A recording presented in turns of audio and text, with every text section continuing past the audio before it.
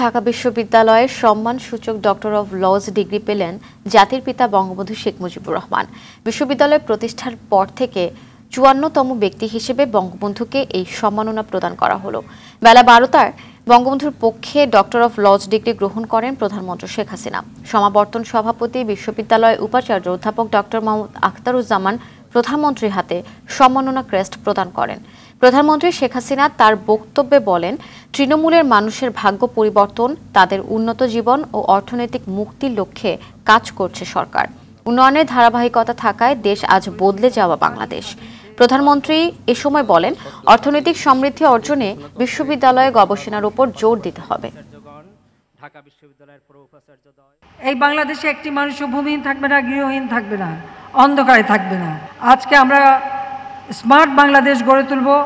অর্থাৎ আমাদের বর্তমান প্রজন্ম ছেলেমেয়েরা সবাই স্মার্ট জনগোষ্ঠী হবে। স্মার্ট গভর্নমেন্ট হবে, স্মার্ট ইকোনমি হবে, স্মার্ট সোসাইটি হবে। সেইভাবেই আমরা এই দেশকে গড়ে তোলার পরিকল্পনা নিয়েছি। আমরা উন্নয়নশীল দেশের মর্যাদা পেয়েছি। অনেক দেশে আমাদের সাথে হয়েছিল, কিন্তু অনেকে পিছিয়ে গেছে। আমি কিন্তু পিছিয়ে যাইনি, আমি বলেছি যে না, আমরা এগিয়ে যাব। আমরা কার্যকর করবই।